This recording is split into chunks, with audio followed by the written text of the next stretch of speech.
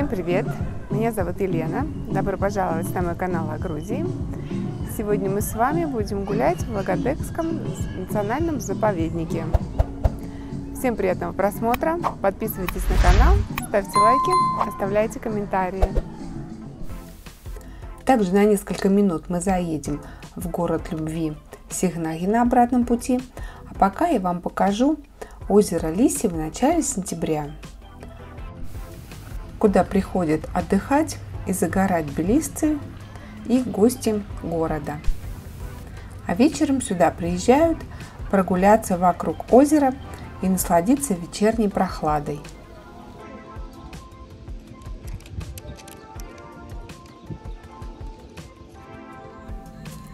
На озере также часто любят проводить церемонию бракосочетания.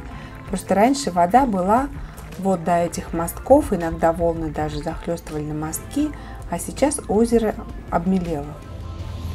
А вот и местные обитатели озера, щеночки. А так выгул собак на озере запрещен. Но собаками людей приходит все равно очень много. Видео об озере Лисия и прогулке по нему – вы можете посмотреть у меня на канале. Ссылку я оставлю. Вечерний лисим. Скоро будет закат. Но мы уже не дождемся. Ну а сейчас мы отправляемся в путешествие по региону Грузии, Кахетии. Кто не знал, в Грузии в некоторых местах добывают нефть. Расстояние от Тбилиси до Лагодехи составляет 175 километров. Время в пути 3 часа, но это если нигде не останавливаться. Конечно, если останавливаться, то займет дорога немного больше. Вот сейчас мы с вами уже пересекаем Алазанскую долину. Ее ширина составляет примерно 40 километров. В Лазанской долине выращивают очень много сельскохозяйственных культур – а это река Алазани. А мы с вами направляемся к подножию Центрального Кавказского хребта, который сейчас виден, где и находится Лагодыхский национальный заповедник. Это мы уже въехали в город Лагодыхи. Лагодыхи – это небольшой город с населением около 6 тысяч человек. Первое упоминание о нем было в 8 веке. Город является центром Лагодехского муниципалитета. Мы движемся по улице Церетели, которая ведет прямо ко входу в заповедник. Территория гостиницы Валд Отель Лагодехи, который встречает вас, как только вы переступили ворота заповедника. Вот такое уютное местечко, где можно отдохнуть тени деревьев сразу после дороги. Вход сюда свободный. Также есть хороший ресторан на территории отеля.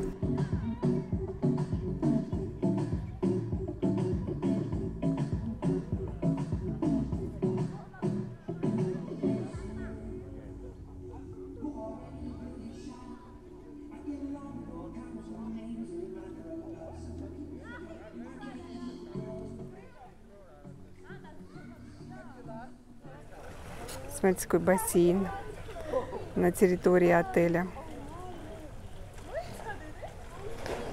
Сегодня 33 градуса. Ой, какие 33? 37.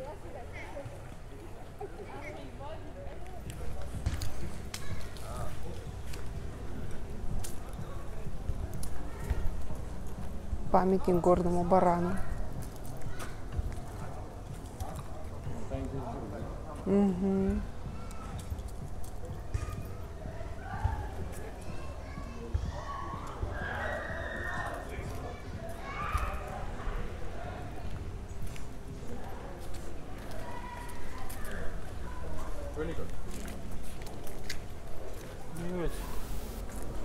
Вот такой уютный ресторан, где, как мы поняли, отдыхающие пользуются шведским столом.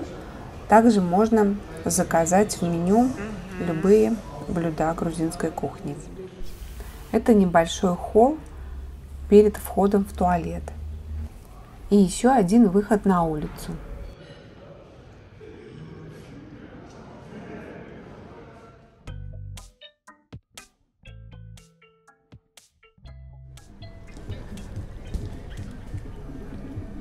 Такой приятный отельчик такой территорией. Вот здесь детский бассейн. Там общий бассейн. Красиво. Заповедник был создан в 1912 году. Во многом своим появлением он обязан натуралисту, зоологу и ботанику изучения кавказской природы Людвику Францевичу Молокосевичу. Долгое время это был заповедник и заказник, доступ в который туристам был очень ограничен. В 2005 году природоохранные земли получили статус национального парка и их открыли для свободного посещения. Сейчас мы пойдем гулять по Лагодекскому заповеднику. Посмотрим на красивую природу Кахетии. Сейчас мы направляемся в информационный центр заповедника, где нужно узнать, куда и как можно идти, а также сообщить о том, что вы направляетесь на территорию заповедника. Заповедник – это прежде всего уникальное Лагодекское ущелье, образованное двумя огромными отрогами Кавказского хребта, которые защищают его с запада и востока. С севера ущелья надежно прикрыто от холодных воздушных масс из России горой Хачалдак. На юге ущелье расширяется и входит в солнечную Лазанскую долину. Именно благодаря ей в Лагодекском ущелье большую часть года тепло и солнечно. Вот обитатели Лагодекского заповедника.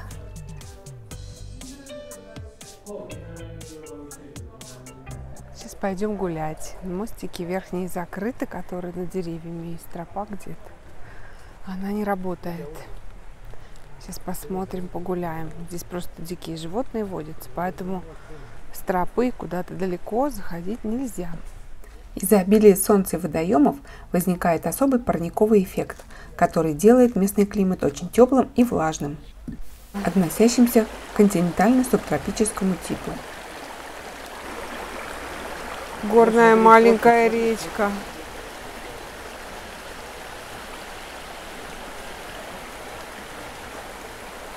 Такая речушка. Вот такой вот красивый лес. Сказали идти ровно по дорожке и очень аккуратно. По значкам.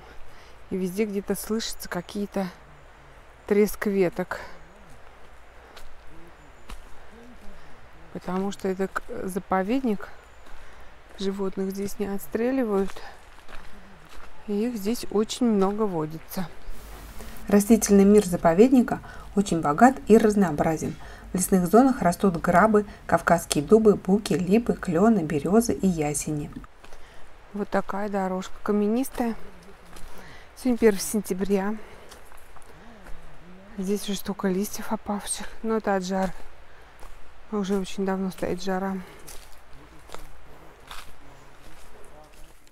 Вот здесь на деревьях такие значки – это обозначает, что тропа безопасна, что надо идти по этим значкам, как нам сказали, и никуда не сворачивать в сторону. Вот мы идем. Они попадаются на, как на деревьях, так и на камнях. А вот и указатель на камешках, потому что здесь развилка. Вот туда была тропка. Туда идти не надо. Надо идти сюда. Чем дальше идем в лес, тем он становится темнее, а трубка уже. Вот все становится темней, страшней. И тут никого кроме нас вообще нет.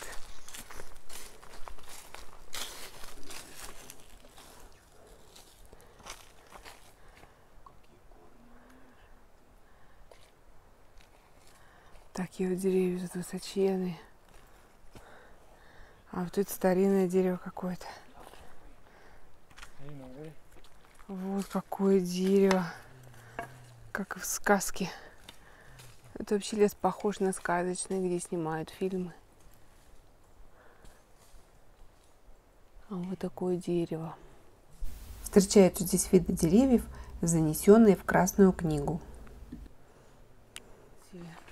Так, а тут что нарисовано? А? Кто здесь живет? Что? Когда какие-то птички. Цабли. Цабли. Мысли к речке, вот она шумит, но к ней не спуститься. Вон там горы видно чуть-чуть. К ней не спуститься. Прошли мы три километра.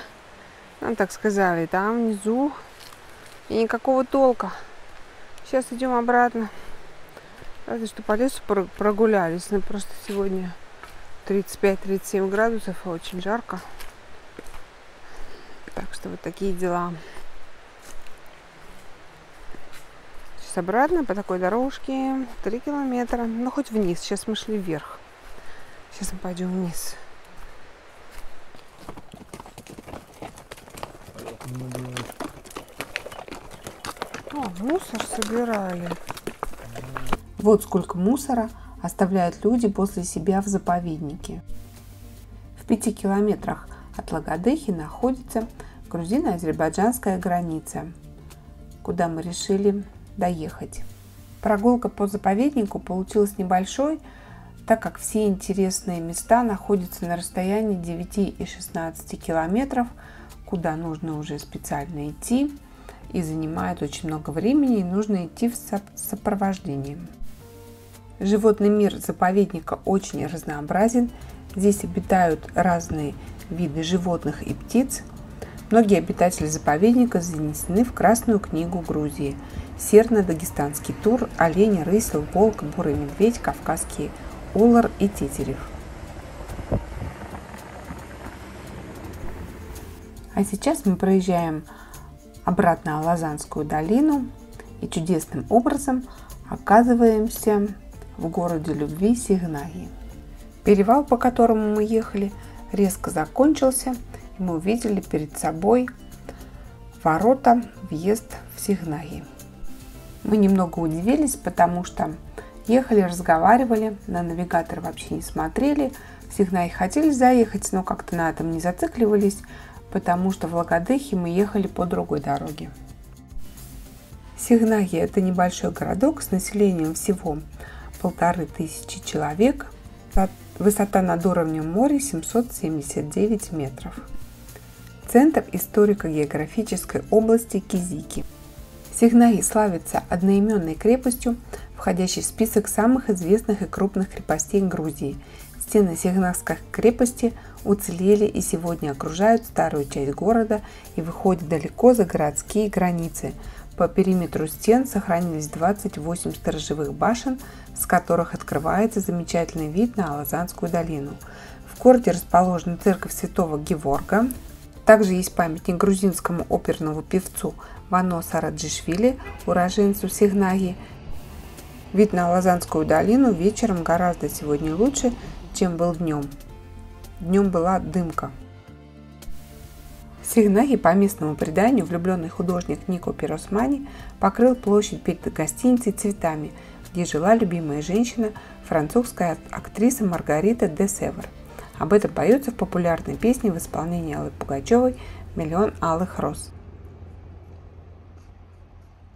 Лучи солнца. С середины 2000-х годов в городе круглосуточно действует дворец бракосочетаний. В двух километрах от Сигнаги находится Бадбийский монастырь, где покоятся мощи покровительницы Грузии – святой равноапостольной Нино. В середине 2000-х годов город был полностью отреставрирован. Сигнавский фонтанчик.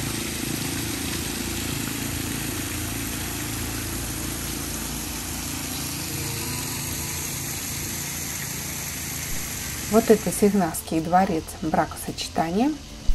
Ну, конечно, то, что туда можно в любое время прийти и расписаться, это не совсем так нужно заранее звонить, нужно, конечно, предоставить все документы.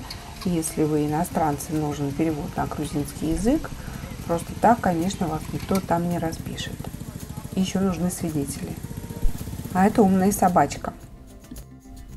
Вот такое небольшое знакомство с Сигнаги у нас получилось. Мы обычно сюда приезжаем раз в год, иногда даже и два раза в год.